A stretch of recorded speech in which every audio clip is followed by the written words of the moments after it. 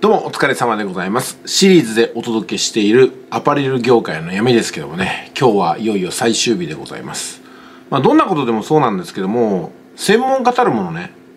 専門的な領域以外の方に目を向けなくてはいけないんですよ。これはね、専門家になる人っていうのはいつも忘れちゃうんですけども、あの、お客様っていうのは自分の専門エリアの外から来ますからね。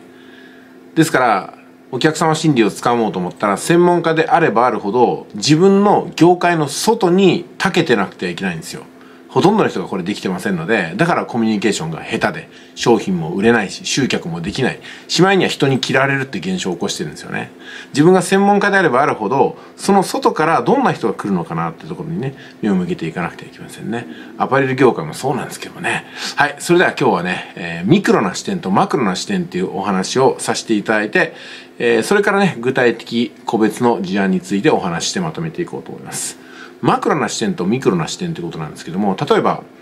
アパレルにお勤めの方って毎日出勤していて、自分の目の前に来るお客様が全てになってしまいます。でも、個人的な体験とか、自分がたまたま有している知識の他に、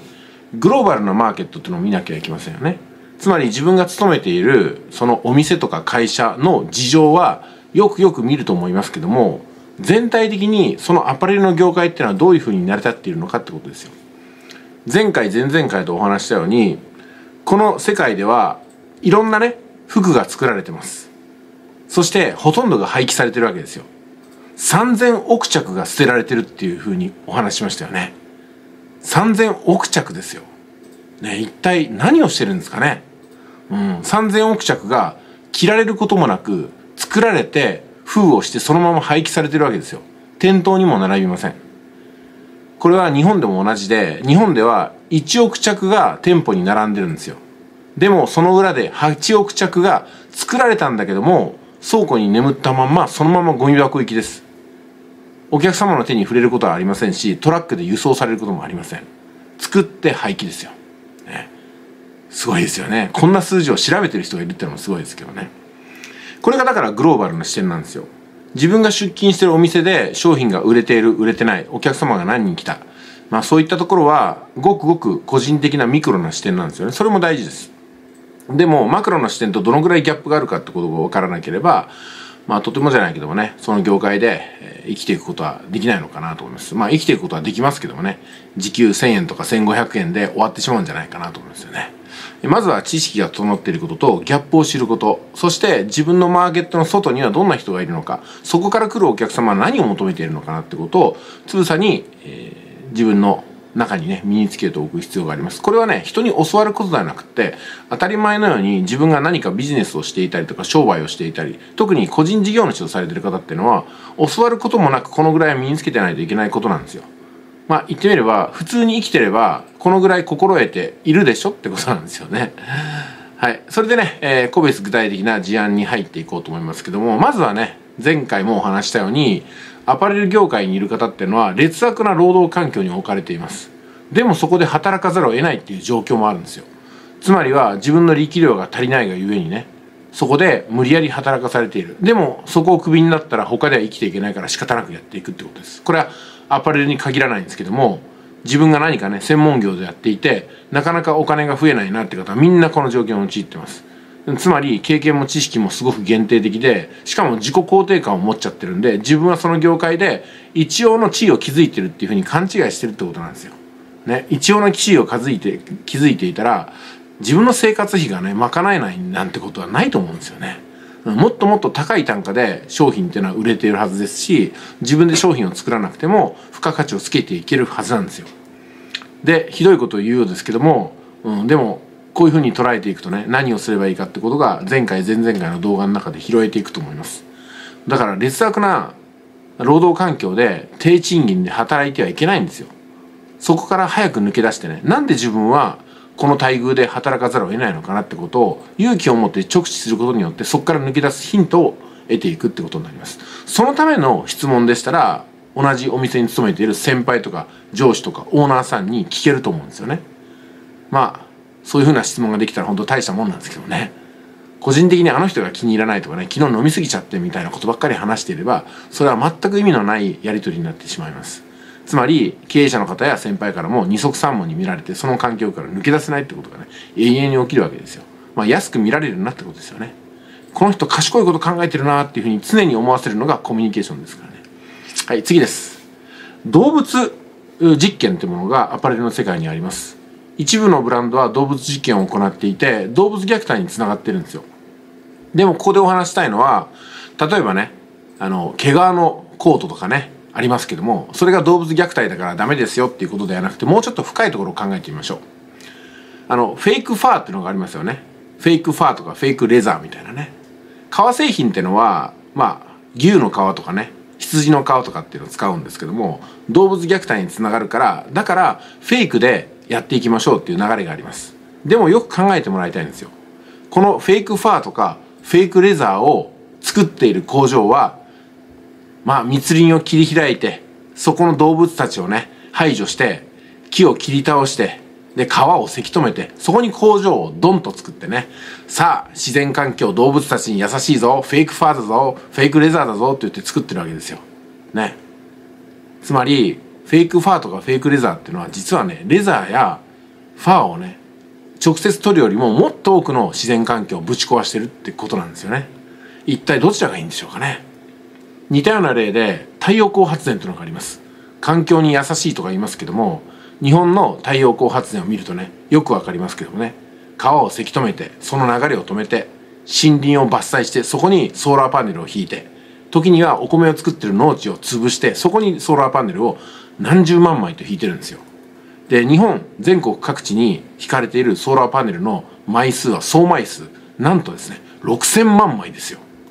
6000万枚もあるわけですよ。しかも今これ増えてます。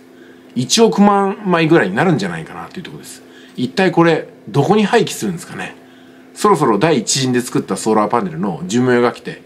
おそらくこれ、解体廃棄するようになると思いますけども、不法投棄するしか今のところやりようがないっていう状態なんですよ。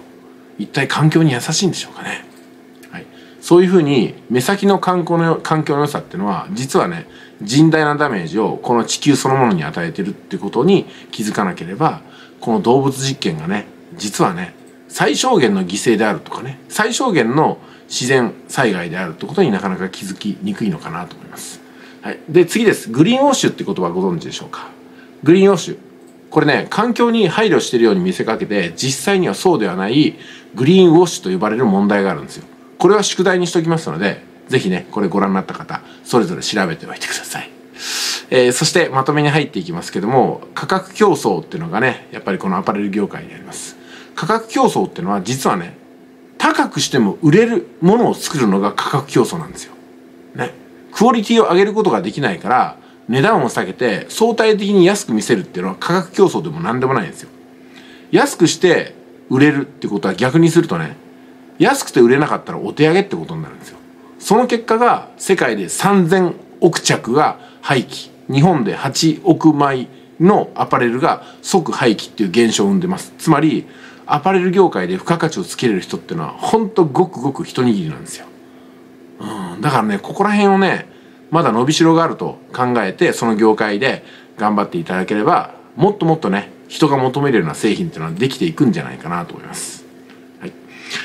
で次ですけども情報公開の不足っていうのもありますよね、えー、前回前々回と私がお話したような内容っていうのはあの別に私はアパレル業界に勤めてるわけではないんですけどもあの当たり前のように入ってくる情報なんですよ。あの日々暮らしていたらね、うん、だからわざわざ調べるようなことでもないんですよね。でももしかしたらアパレル業界にいる人でもここまで動画3本でねおよそ2時間ぐらいですけどもここまでさらっと話せる人がいないぐらいなんかもしかしたら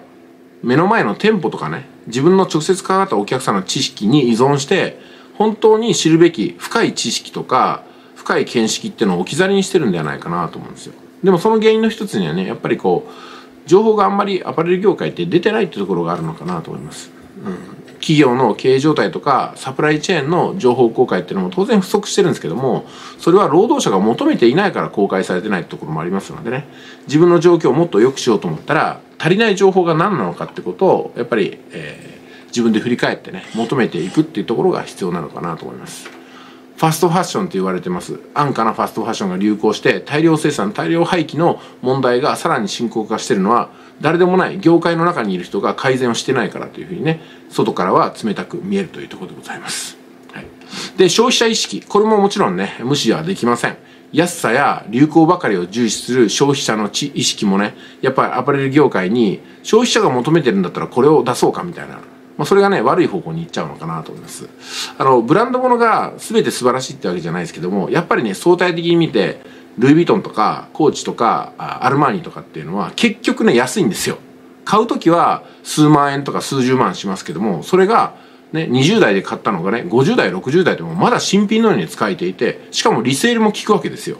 ね。あのお財布の話をね前回したかな、うん、私の使ってる財布っていうのは2万円ぐらいで買ったんですけどもリセールバリューが1万5千円ぐらいになるんですよね、うん、これすごくないですか？使っているのにもう何年も使ってるのに売れるっていうことなんですよ。つまり財布そのものがもうお金なんですよね。うん、だからそういうものをね買っていくと結局は安上がりということになるしあの捨てることもないんでね大事に使えるってことにもなるのかなと思います。えもちろんルイ・ヴィトンのバッグなんていうのは何枚か持ってますけども今でもねあの原価以上に買取価格以上に売り出し価格の方が高いってこともありえるわけなんですよ。まあ何点かそういうものがありますので言ってみればブランド物っていうのはそのまま買った瞬間資産になるんですよね。まあ時計なんていうのはね結構ねあの資産化するものが多いと思いますけども。どこでしたっけ？オメガじゃないや。ガメラじゃないや。なんかそんなロレックスか？そんなんありましたよね。はい。こういうふうな消費者心理。これを教育していくのも接客の中でできることなんですよ、ね、お客様をいかにね物知りにさせていくか。そしてあの店舗に行ったら接客の中でいろいろ学べる気づきがあるなと思わせるような従業員スタッフになると人気が集まって自分のノルマがね楽々クリアできるということにもなっていきます。お客様ってのは何で服を買うかっていうと何かに変身したいわけなんですよ。で今までの自分に多少ね刺激を感じなくなってきたんですよ。ですんで例えば女性の方なんて新しい服を着る時ってものすごくワクワクするはずなんですよね。いや新しい服じゃなくても今日何着ようかなと思った瞬間に今日は自分は何者になるのかなっていうふうな本当にね夢を見てるはずなんですよね。でそういうふうなアパレルをまだまだね業界の人っていうのは作っていけるし売っていけると思うわけなんですね。はいじゃあ今日はそんなところでまとめていきましょうか。ちょっとね追加でねもうちょっとおまけをお話しするかもしれませんけども今日はこんなところにしときましょう。はい12分ほど喋ってしまいました。ではお疲れ様です。